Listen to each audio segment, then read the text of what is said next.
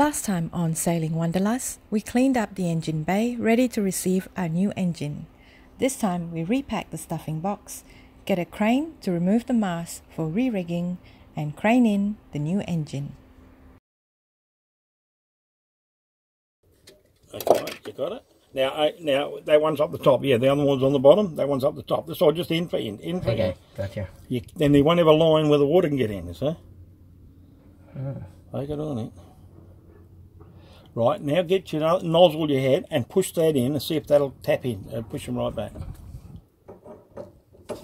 Now, that's And got you- an L. yep. So I've got to find the L. There we go. So L, L. Right, mate. Just now get your little tap of them and you got there, a little mallet behind you, and give that a tap on the end and drive it in, right? Well, okay, still push it in. Do you yeah, want right, to we'll push? just do that. I just want you to get in as far as you can. Okay. Right, need more. Okay. Yeah. Yeah, she comes. If she comes out. You ever need another, at least another two, at least. Yeah. that, that, That goes to the bottom. that was the bottom one. Yeah, Then. last one was in top. Beautiful one. Still easy, isn't it? Hey? Oh, it is. Okay, another one, All please. right. Any more story, mate? So it's really handy to get a meter. Oh, hey, you're going to use it all. And what you don't use, you can pre-cut them up now and put them in this plastic bag and keep them in the drawer. They don't. They're always there when you want them. Yeah, that's a good idea. Because for a little while they'll take a little while to settle in because they'll they'll squeeze up and when you start doing those nuts up. We're mm. only going to put it in loose. That's all. Okay, that's two more. What do you want? Put that bolt We put that thing in again. Try to see how far it'll go. Okay, it's touching. Yeah, now you're starting to get tired. So you want one more in? Well, can you still wriggle that shaft? Don't worry about that. Leave that. No, leave that there. Good. So we've got to go, be able to get it in now. Yeah. Well, how much you reckon you got in? Pull the, the thing out again. See how much we got left on it, on the spigot. There. That half. You put another one in. You're not going to be in far, are you? No. So I would say that's enough. Put it, put your bolts in there and just get it in loose, and that's where it stays. Huh? Okay.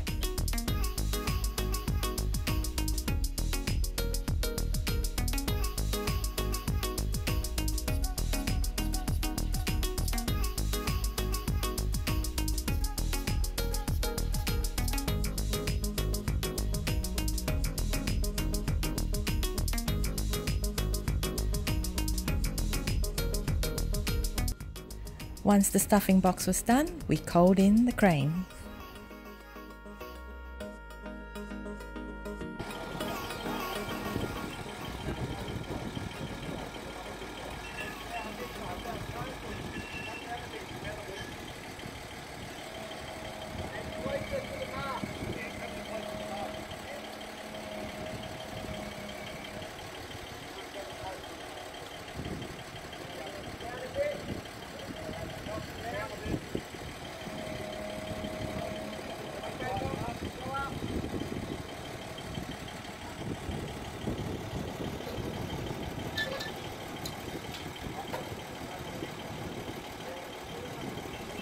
After several goes securing the crane to the mast, we finally got it lifted.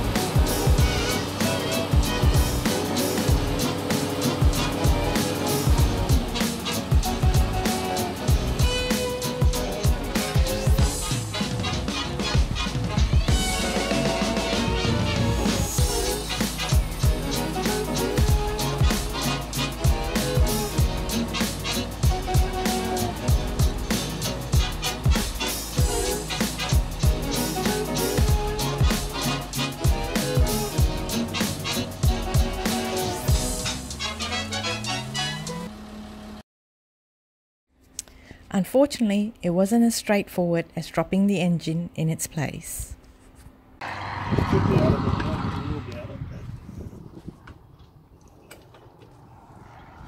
Yeah, no, we're going to have to put a packer under it. We're going to put a packer between there and that to get adjustments. It's right at the top now, Yeah. and they're still not touching. And if I come back, we've got to lift it up anyway at the back. Well, that'll clear the sump. And that'll line that up hopefully. Yeah, it looks pretty close. Yeah, and we're very wide on the beds. It's out, out, out, outside. So, Alright, so we've just put in the engine frame or cradle. Um, so what we did is removed it because originally it didn't have these blocks in. Okay, it was just the base. Um, but what happened is with the new motor, we didn't have enough clearance between the the floor, the floor here to the sump. So what we've had to do is give it some elevation. So we've welded up some nice chunky blocks on it, nice and strong still. Um, I primed it, painted it, galved, um, and we've extended it. So now the motor that's behind me, uh, if you can see it, uh, match the colour, uh, eventually will go on here. So it's all in now, so we'll see what happens now. We're waiting on the prop and the shaft, and that goes through there, straight down, um, and that's getting made. And then we can put the motor on here, and then we'll take it from there. Because then there's all the wiring and everything else. so that's it. Pretty good.